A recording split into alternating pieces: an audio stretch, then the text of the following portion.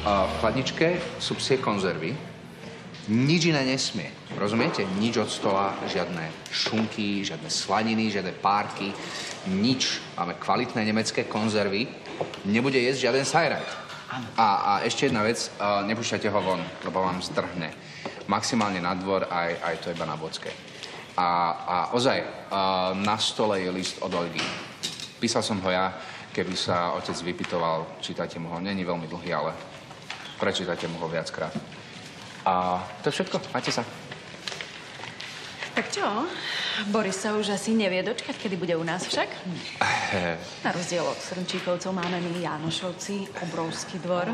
Áno, áno. A Hanku, ktorá sa postará o celodennú zábavu.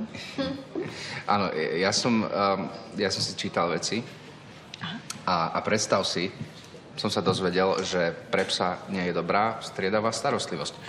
Musí mať jedného pána, lebo inak bude zmetený. Dobre, veď pán budeš ty a pani zase ja.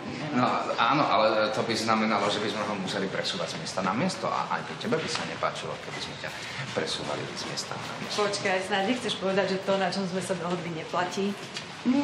Hanka sa teší. Toto by si jej urobil? Áno, no, áno, áno ja, ja, ja rozumiem. Hanka, ale, ale musíme myslieť aj na to, čo je pre Boriska najlepšie a v tomto prípade je to jeden domov a jeden pán. Ale môžete ho prísť navštíviť kedykoľvek budete chcieť. Nie, veď nebudeme sa trepať cez celé mesto. No, tak asi nie si pre neho pripravená urobiť dosť. Dobre, tak príď ty. Boris bude u nás a ty budeš prichádzať kedykoľvek no, budeš chcieť. No nie, lebo on už si u mňa zvykol. Podrazák. A Agata? Nie. Ja, ja. Agata.